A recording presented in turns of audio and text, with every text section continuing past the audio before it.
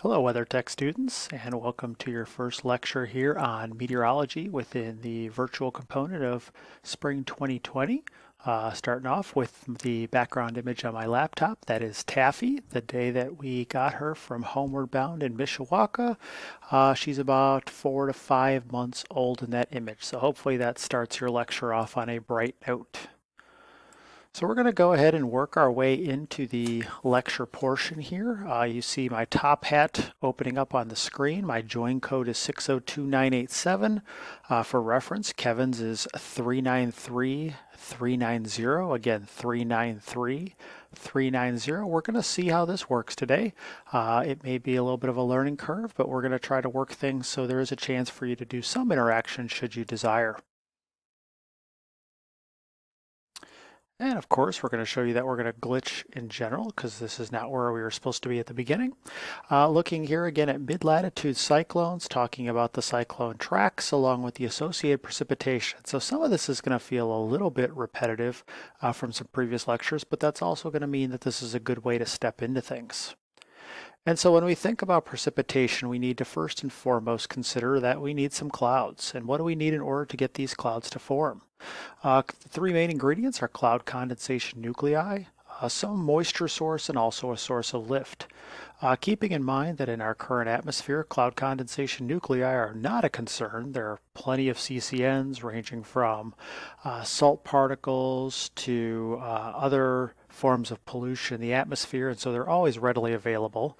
And we can have lift in the atmosphere, uh, but not receive or experience cloudiness. So that source of moisture becomes absolutely critical in order to get uh, precipitation uh, from a cloud. And so we think about the precipitation processes that we talked about back in MET 103, the idea of the Bergeron-Findeisen or our cold cloud process that involves ice crystals. And then as we get down to the tropic regions, we experience more of the collision coalescence or the CC method. And so if we have enough moisture, we have enough lift, we obviously are going to have those CCN. If we get enough lift for a period of time, that's when we can start to experience precipitation. And so we'll look a little bit about the cloud types along with the precipitation expected when we deal with different frontal boundaries in our atmosphere. And so here we're looking at a schematic of the warm front in our 3D, remembering that our warm frontal boundaries are going to have a much more gentle slope associated with them. And here we see that this is going to produce a relatively slow but steady amount of precipitation as we gently lift warm air uh, northward or poleward, we should say, of the warm frontal boundary.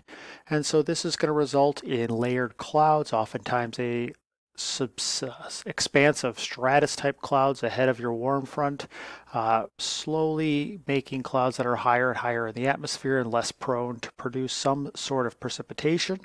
Uh, with our warm frontal boundary, the fact that we're taking this warm moist air and causing it to go above a dome of cold air that's receding to the polar regions, uh, here we may experience potentially some of that frozen or mixed precipitation as we move uh, north of our warm frontal boundary. And so again, in this schematic, we may see a large area of precipitation out ahead of a warm front. That's not always the case. Again, all precipitation setups are not created equal. And so as we move on forward to the cold frontal boundary, uh, the big difference again between our cold frontal and warm frontal boundary in the three-dimensional setup is that we're going to have a much steeper, much more abrupt uh, slope associated with our cold frontal boundary. And again, we see this warm air, remembering our warm air is going to have the capacity to hold more moisture, and that's going to be lifted up relatively quickly right along and behind that cold frontal boundary. And so oftentimes we see more precipitation just in the wake of that cold frontal boundary. Uh, remember back to slightly before break when we talked and spent some time discussing how to pick out these boundaries. And you've just gotten done reading the Sanders and Doswell article from 1995, uh, identifying where these are. And one of, of course, the ways that we can help to identify these boundaries is where precipitation is, but that's not going to be the number one way in which we look to see where precipitation is located.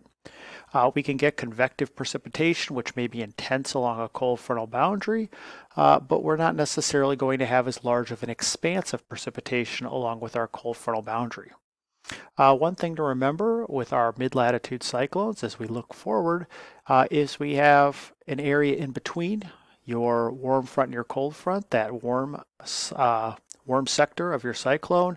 And oftentimes we have sparse precipitation in this area, and that's because we don't have as much of a uh, present lifting mechanism. Uh, we can get simply some daytime heating that can help to initiate showers and thunderstorms in the warm sector, but there's not a clear lifting mechanism that is going to force widespread precipitation within that warm sector of the cyclone. And so here as we look out into a much larger scale, you can see where we oftentimes will find larger expanses of precip associated with a mature here starting to weaken because we're already occluded mid-latitude cyclone. Uh, a lot of precipitation may occur around your low with uh, steady lift. You may also find again that expanse ahead of your warm front, more isolated along your cold frontal boundary uh, with some areas as you get trailing further and further away from your parent low and away from your moisture sources, here being the Gulf of Mexico as the primary moisture source, seeing less and less precipitation. And so we'll conclude the discussion today looking at some of the favored cyclone tracks. And the cyclone tracks are important because the track of the cyclone is going to help to dictate what type of precipitation uh, and how much precipitation we may find in a given area. If you harken back to Met 103, you may remember our video, uh, Storm of the Century, a National Geographic video which showed our superstorm of 1993 and the fact that there was a lot of difference between a few of our numerical weather models at the time, uh, one coming inland and producing a much weaker cyclone, one going out to sea, uh, well into the Atlantic Ocean, and therefore not producing nearly impacts to the United States, and another which hugged the eastern seaboard, which would have produced the most devastating impacts. And forecasters correctly honed in on that path, uh, producing notable and memorable and to this point still historical weather conditions, including 13 inches of snow down in Birmingham, Alabama. And so you can see here that would have best conformed with some combination of the Gulf Coast Cyclone and East Coast Cyclone track. But a couple of the other ones we're going to look at at this time are the Alberta Cyclone and the Denver Cyclone. And one of the things that we really consider here in the Midwest, focusing on the Valpo Chicago area, is the importance of the storm track in producing both A, precipitation amounts, and B, the amount of, or also the type of precipitation you may see in a given area. And so if we look first and foremost at the Denver cyclone, actually let's stop and take a look at the Alberta cyclone. Uh, the Alberta cyclone is going to be one of these tracks that comes not shockingly from Canada, uh, our province of Alberta, in and around that area. Sometimes you even hear a buzzword nowadays, the Saskatchewan Screamer. They just come up with different terms, but they're similar in the way in which they behave and the impacts uh, here in the Midwest and throughout much of the northern tier of the United States. Alberta cyclones are oftentimes associated with cold weather, especially in the wake of an Alberta cyclone, and are common producers of snowfall, but the fact that the track is so far away from a moisture source, namely the Gulf of Mexico, means that we're not going to get sufficient uh, moisture and therefore be able to produce heavy types of uh, precip, especially snowfall in our area.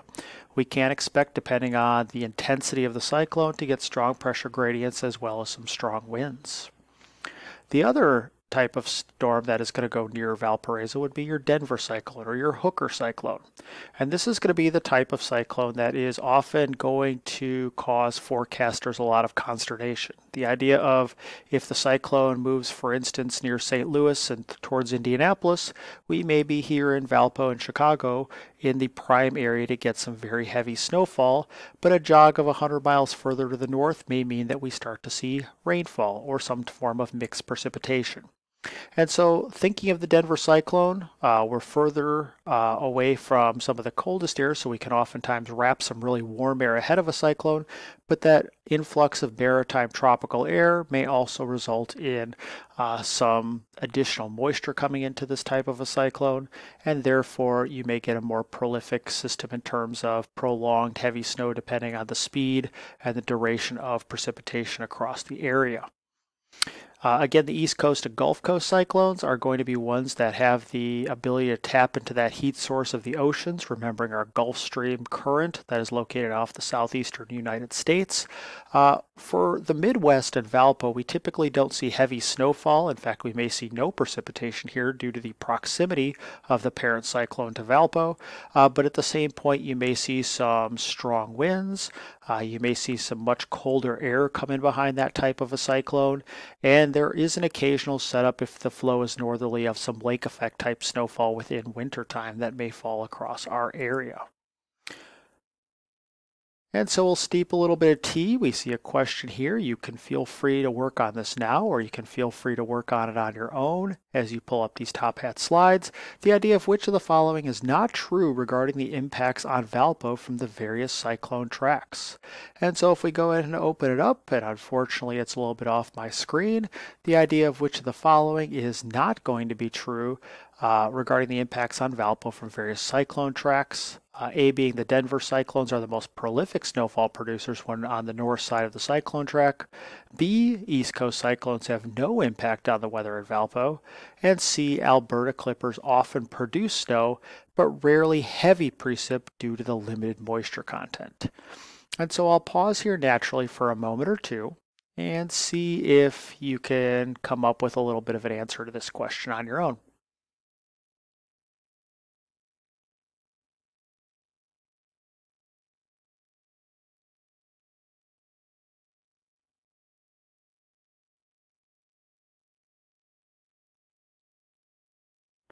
Okay, uh, the answer here would be B. East Coast cyclones have no impact. Uh, although, again, they may not produce substantial precipitation in Valpo, they can absolutely impact the weather in terms of very cold air, oftentimes strong winds, and as mentioned, we may get some lake effect snow within our area.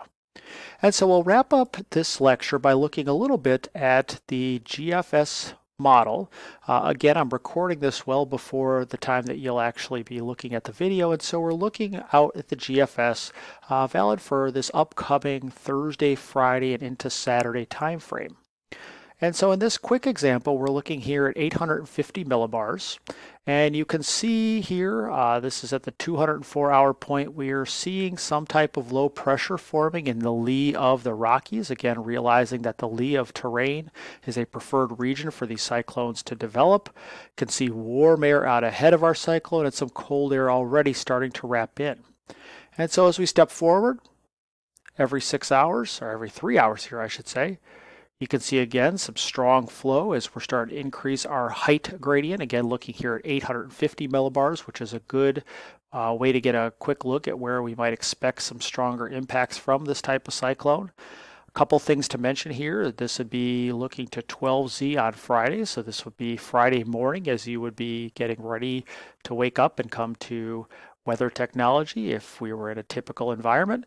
And again, this area of flow off the Gulf, we don't have a direct flow from the Gulf up towards Valpo, but still we're going to bring some warm, moist air up in this maritime tropical air mass and this colder continental polar air mass helping to wrap in behind, creating a strong gradient in temperatures. And this will set us up well for our lecture next time on things such as temperature advections. And so although not perfect, we can see our low at this point as we work our way into later morning Friday. The low at 850 millibars passing nearly over Valparaiso, bringing in some of that cold air at 850 behind it, whereas even at the same latitude, much, much warmer in the warm sector of this cyclone off to the east. And so if we do take a quick moment and actually look at the precipitation associated with this, we're going to step back, looking as it forms out in the lee of the Rockies. Now, this isn't a true Denver cyclone track, but it at least is going to mimic that. Again, we talk about the uh, preferred ways, but all cyclones have a little bit of difference in the way in which they behave. And so you can pretty easily, if you just look at the pressure line, start to pick out where we may have some type of a warm frontal boundary, where we have might some might might have some type of a trailing cold frontal boundary. And then you see these dash lines. These are going to be looking at things such as thickness. And that thickness uh, is going to be something else that we look at moving down the road. And so you can see some precipitation breaking out and becoming more expansive both around our cyclone as it develops especially here ahead of that warm frontal boundary. If we look at this kink in the pressure lines, we may have some type of cold frontal boundary working its way through the Arklatex region and a little bit of trailing precipitation, potentially another secondary cold front back here uh, with, again, some trailing precipitation. We'll talk a little bit more about things such as a deformation zone as you move forward in your meteorological curriculum. Expansive precip, again around your low, but especially out here in the vicinity of any type of warm frontal boundary. And so again, not a canonical Denver cyclone, but still an interesting scenario in which to look at to move through things as we get into cyclone tracks. That's all for today. I'm out of time. Have a good one.